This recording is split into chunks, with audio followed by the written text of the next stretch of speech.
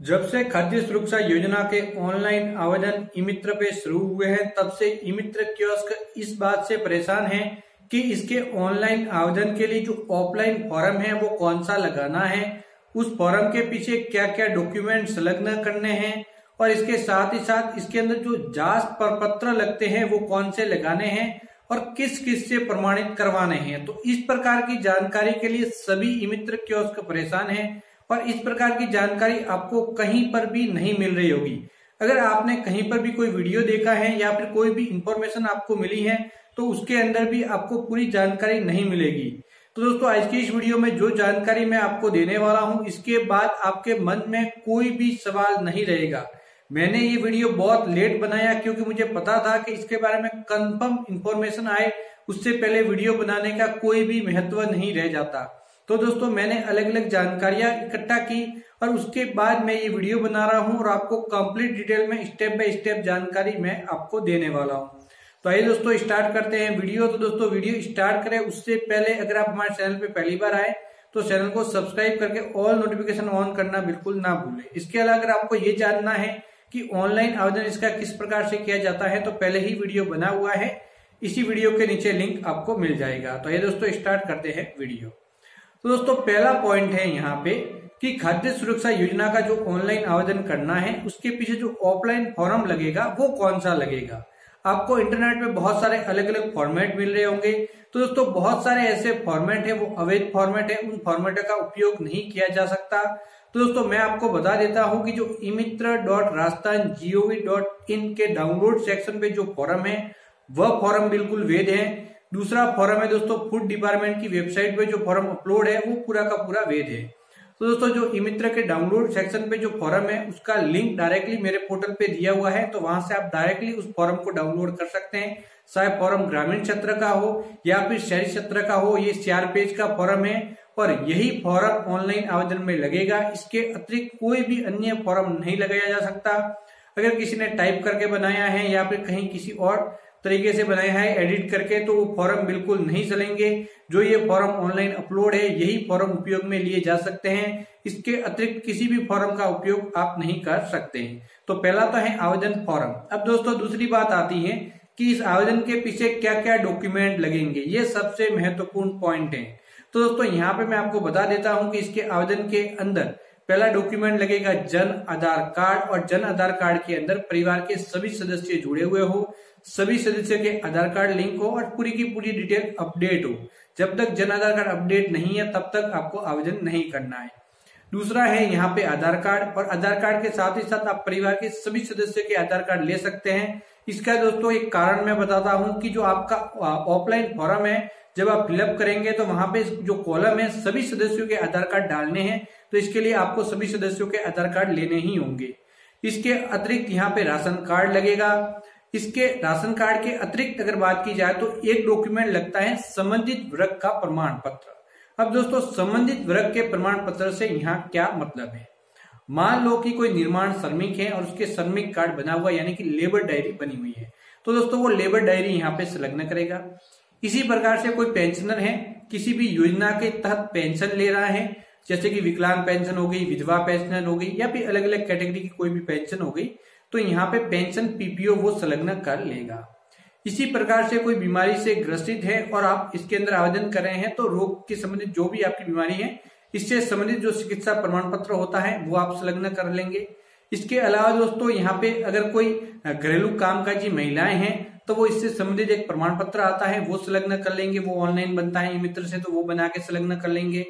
इसके अतिरिक्त दोस्तों, यहाँ पे एक पॉइंट ये है कि ये जो तो मैंने डॉक्यूमेंट कहे, इसके अतिरिक्त अगर कोई स्ट्रीट वेंडर है, सबसे महत्वपूर्ण पॉइंट है स्ट्रीट वेंडर यानी कि जो हाथ लाई वगैरह लगाते हैं तो संबंधित नगर पालिका या फिर पंचायत के द्वारा एक स्ट्रीट वेंडर प्रमाण पत्र दिया जाता है तो वो संलग्न करके भी आवेदन किया जा सकता है।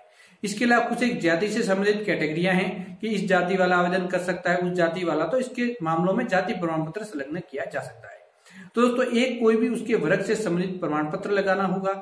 मान लो कि कोई किसान है, लघु किसान की श्रेणी के अंतर्गत आता है तो यहाँ पे भूमि प्रमाण पत्र को संलग्न कर लेगा। तो दोस्तों, जिस वर्ग का आप आवेदन कर रहे हैं, उस वर्ग से संबंधित आपको एक डॉक्यूमेंट लगाना होगा। अगर इसके बारे में विस्तार से अगर आपको वीडियो की ज़रूरत है तो कमेंट बॉक्स में जाके कमेंट करें। मैं हर एक वर्ग का अलग अलग डॉक्यूमेंट का वीडियो लेके आ जाऊँगा।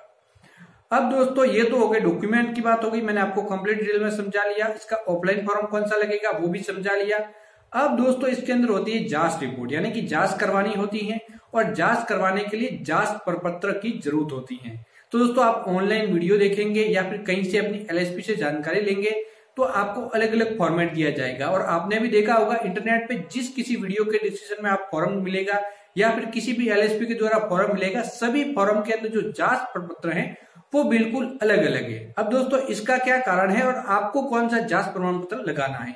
इस बात का बात का विशेष करके आपको ध्यान रखना है। तो दोस्तों, ये जो जाँच पत्र है, इसके अंदर खास क्या है? एक तो पटवारी की रिपोर्ट करवानी है, इस जाँच के अंदर आपने देखा होगा। दूसरा है, यहाँ पे ग्राम सेवक की रिपोर्ट करवानी है। इसके अतिरिक्त यहाँ पे कहीं पे, यहाँ पे जो सरपंच होता है, उसकी रिपोर्ट करवानी है तो इस प्रकार के अलग अलग फॉर्मेट है। और दोस्तों, ये फॉर्मेट अलग अलग होने के पीछे कारण है कि ये जो फॉर्मेट है वो अपने अलग अलग ब्लॉक स्तर पे जारी हुए।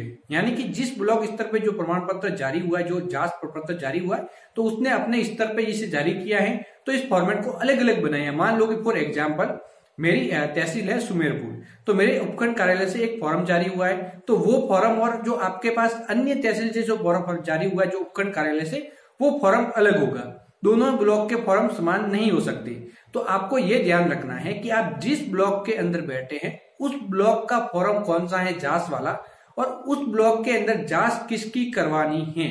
तो दोस्तों, यहाँ पे राजस्थान के बहुत सारे ब्लॉक है। उन सभी ब्लॉक के फॉर्म तो मैं आपको दे नहीं सकता। अगर आप किसी अन्य ब्लॉक का फॉर्म उपयोग में लेंगे तो आपका फॉर्म रिजेक्ट हो सकता है। कंफर्म नहीं है, लेकिन हो सकता है। तो दोस्तों, सभी ब्लॉक वालों ने ज़्यादातर ये फॉर्म जारी किए हैं। किसी में डिस्ट्रिक्ट लेवल पे भी जारी हो गए तो उस डिस्ट्रिक्ट में पूरा का पूरा एक ही चलेगा। तो यहाँ पे पहले आप अपने उपखंड कार्यालय में संपर्क करें। अपने ब्लॉक का जो भी आपका उपकरण कार्यालय लगता है, जहाँ से आपके फॉर्म अप्रूव होते हैं, वहाँ पे संपर्क करें। उनसे कहे कि हमारे ब्लॉक के अंदर किस किस की जाँच करवानी है और कौन कौन से फॉर्मेट की ज़रूरत है तो वहाँ से आप फॉर्मेट ली। आप इंटरनेट ऑनलाइन माध्यम से कोई भी फॉर्मेट आपको नहीं लेना है। अगर वो फॉर्मेट लेंगे तो आपका फॉर्म रिजेक्ट हो सकता है।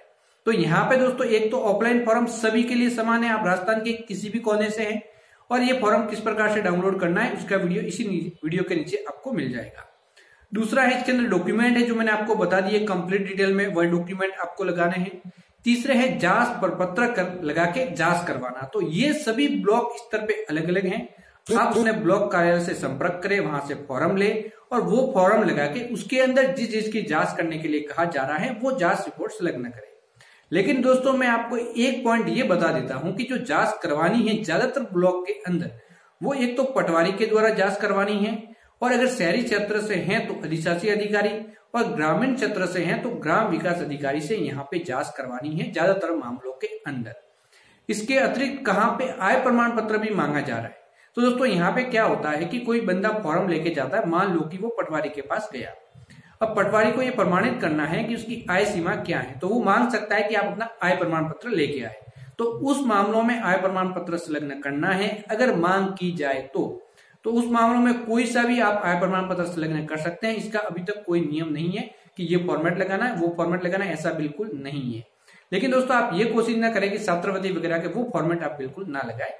इसके अतिरिक्त जो कॉमन फॉर्मेट है वो कोई भी लगाया जा सकता है। तो इस बात का आपको विशेष करके ध्यान रखना होगा। तो दोस्तों इस वीडियो में मैंने कंप्लीट स्टेप बाय स्टेप समझा लिया है कि इसके अंदर क्या क्या डॉक्यूमेंट लगेंगे किस प्रकार से लगेंगे। इसके अतिरिक्त जो वर्ग का जो प्रमाण पत्र मैंने कहा है संबंधित वर्ग किस वर्ग के अंदर आवेदन कर रहा है तो वो डॉक्यूमेंट सभी के लिए अलग अलग होता है। तो इसके बारे में वीडियो की ज़रूरत है तो कमेंट बॉक्स में जाके कमेंट करें।